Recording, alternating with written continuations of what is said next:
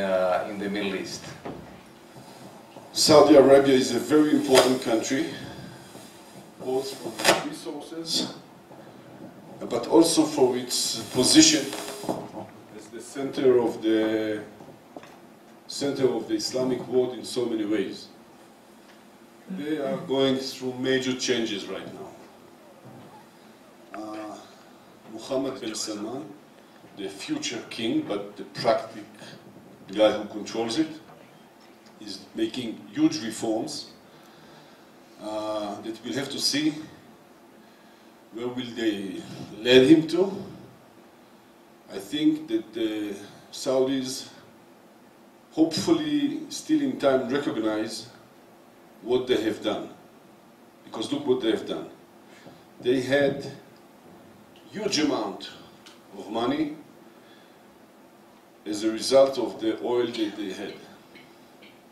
They used that money to secure internal security and to support other organizations in different places in the world. The, all of, the price all went down. They cannot buy security inside.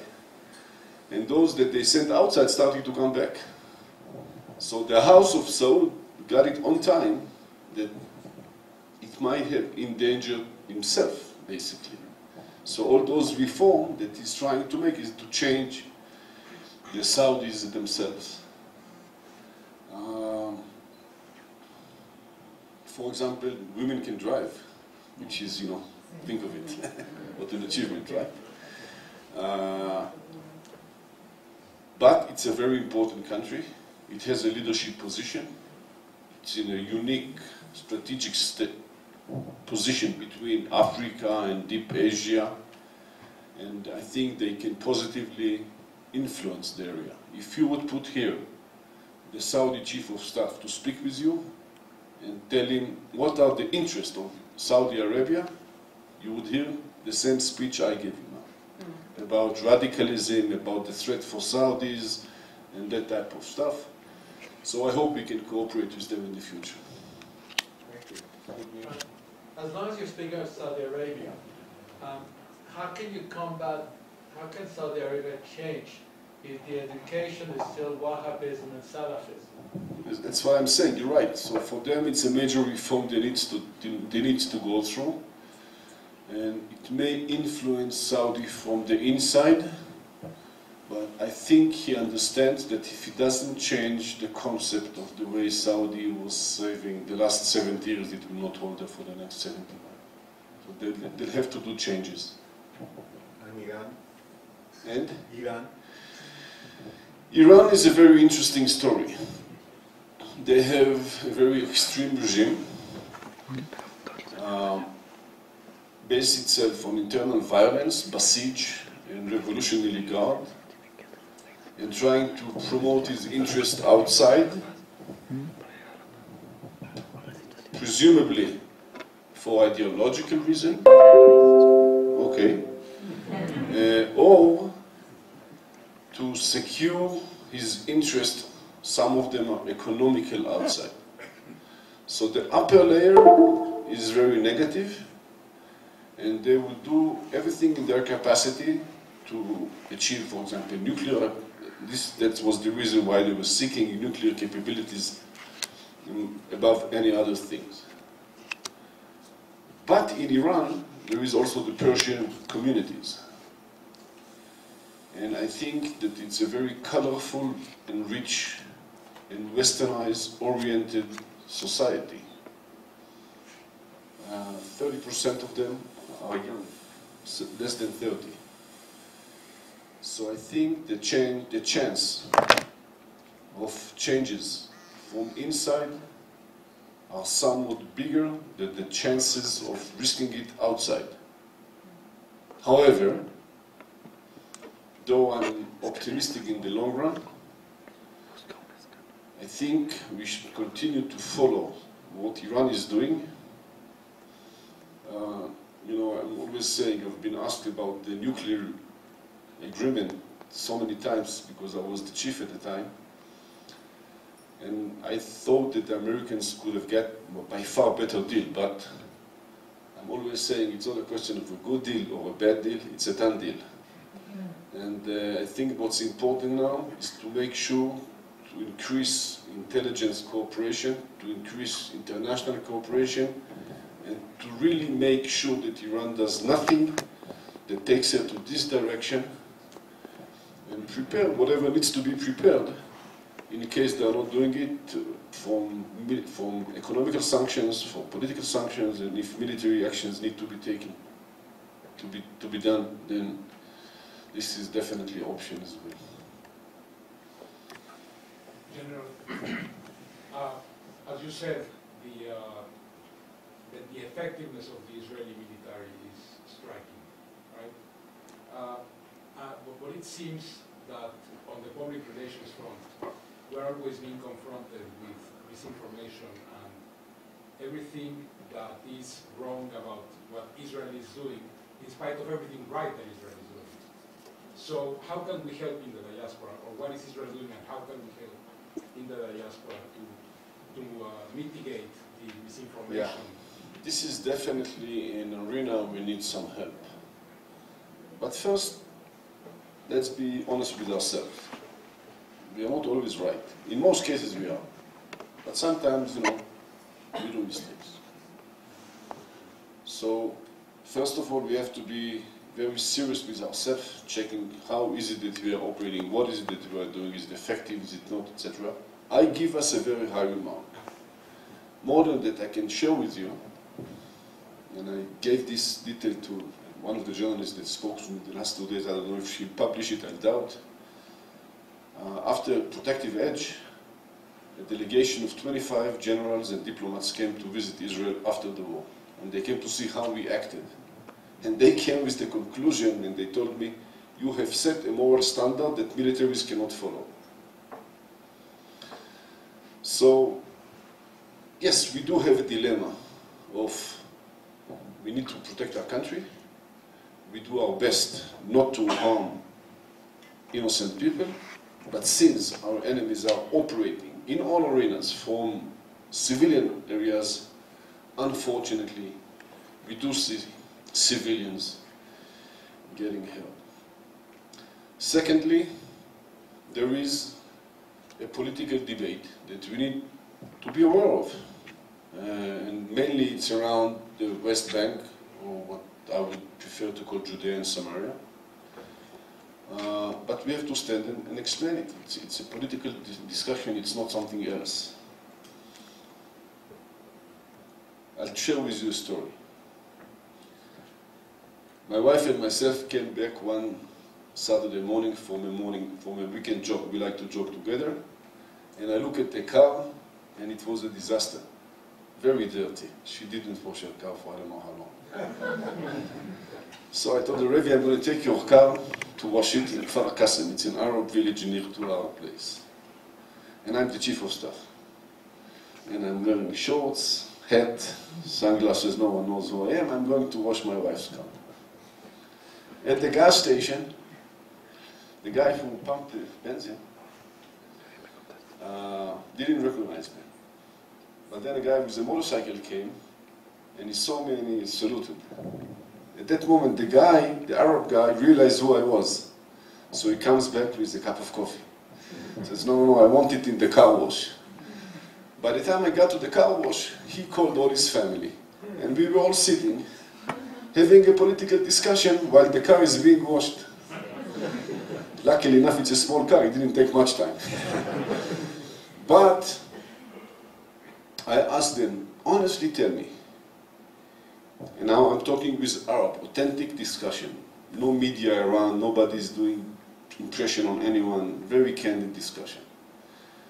I told him, if you are not a Saudi who sneezes into a hundred dollar bill, where would be the best place in the Middle East to be an Arab? They all said Israel. And then I asked him, where is the second best place? And they said the West Bank. Because you have hospitals, because you have universities, because you have education, you have infrastructure. The town of Rawabi in the West Bank is the only Arab town being built in the Middle East. Assad is destroying the cities, and we are helping them building a Palestinian state, uh, Palestinian city. So the question is how do we sell the story? One segment is the Ministry of Foreign Affairs. They have to do Hasbara.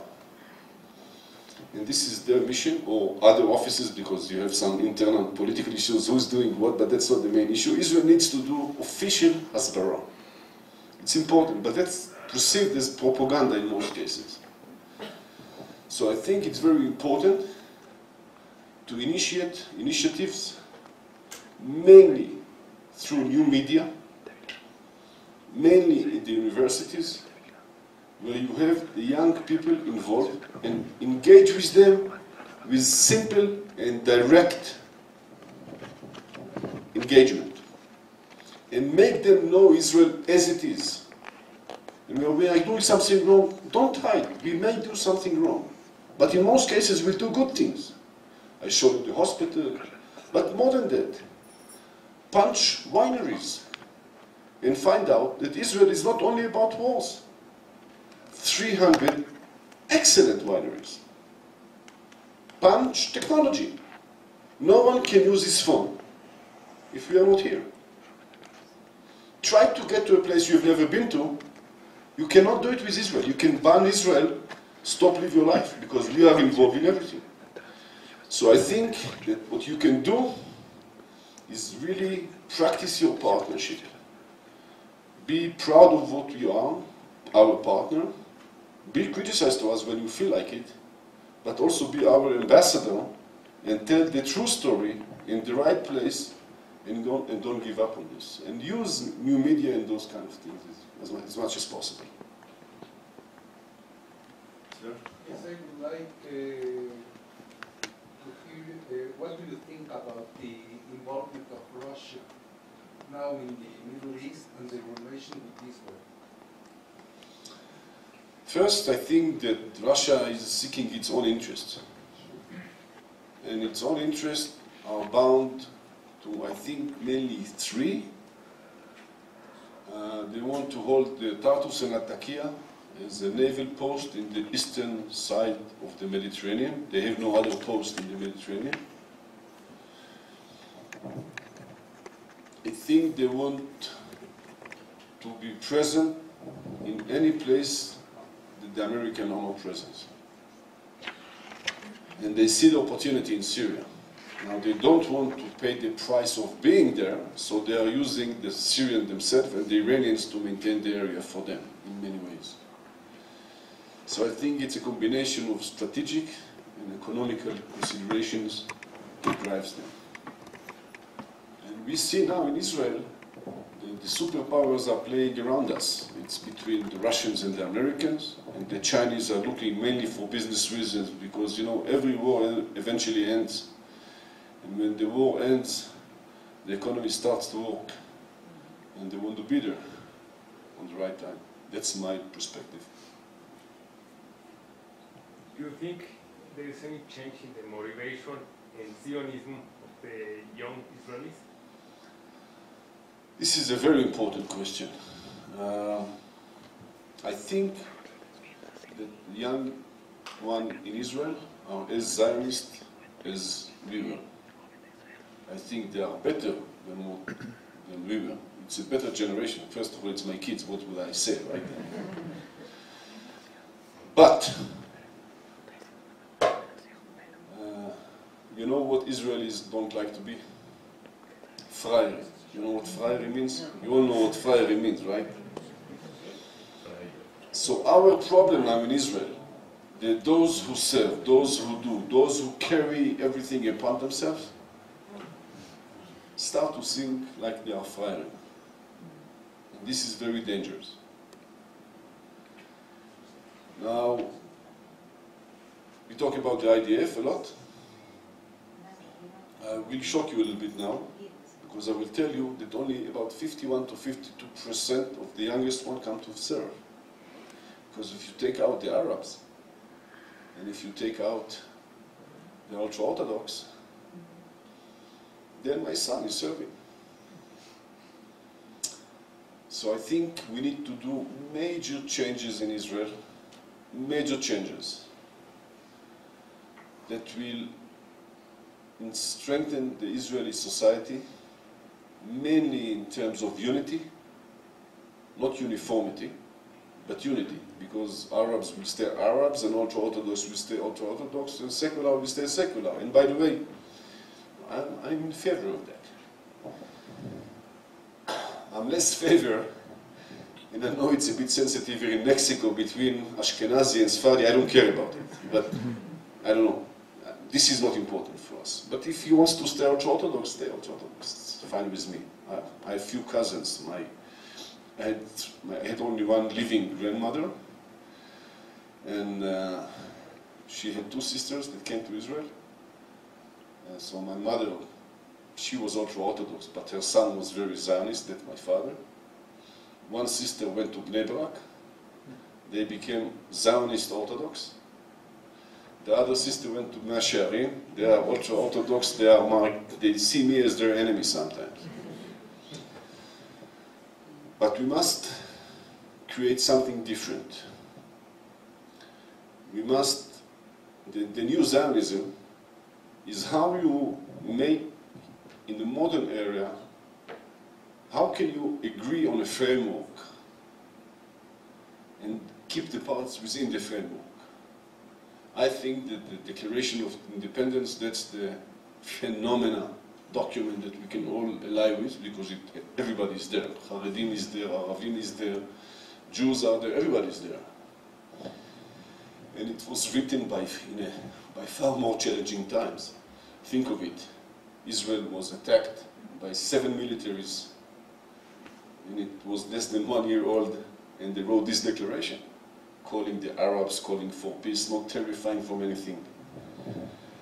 Uh, so I think we need to do reforms in our education, in our working plans, in the service of the country. I think everybody should serve so everybody will care about the country. But that's a huge issue. And I think this is, if you ask me, I was sitting uh, two years ago in a private meeting with uh, a former MI6 chief. MI6 is the British Secret Service. And uh, two guys from the United Nations, former guys from the United Nations. And we had dinner in London. And you know, I pitched them. So what do I pitch them? Iran is very bad, very bad, very bad. Of the evening I spent about Iran. And then the Syrian, you know, military talks. And then he said, General, I really understand, but from everything you told us, what do you think is the biggest challenge for Israel? And I said, Israel. and I, I think we are the biggest challenge of ourselves. What about Erdo- Erdogan? Erdogan. Is he a threat? Is he a bluff? Is he a threat or a bluff? Or what is? is definitely a challenge. Uh, he was lucky due to technology. You know, Mubarak lost his regime because of technology, and Erdogan gained his regime because of the same technology of uh, FaceTime, Facebook. Uh, Turkey is a very important country. Uh, its strategic position and it's always bounding between being part of Europe or not being part of Europe, being part of NATO, not being part of NATO. And he has this Ottoman ambitions, I would say. Uh, I think that down the road he may impact our region. I think his biggest threat is Iran, and I think he will confront them before he will confront us. But we need to follow this and make sure you know, what he's doing. Now, you have to remember, just like I spoke about the Iranians, regime versus society, which is two different approaches if you ask me. I think the same stands to Turkey, because the biggest number of flights that leave Israel on a daily basis goes to Turkey. And the business between Israeli businessmen and, and Turkey, Turkish businessmen is, I won't say flourishing, but they are moving on and things are pretty much okay. So it's a diplomatic, strategic conflict that we have with him. I'll hope that he'll gain some more logic to his act- activity, but we need to watch what he's doing there.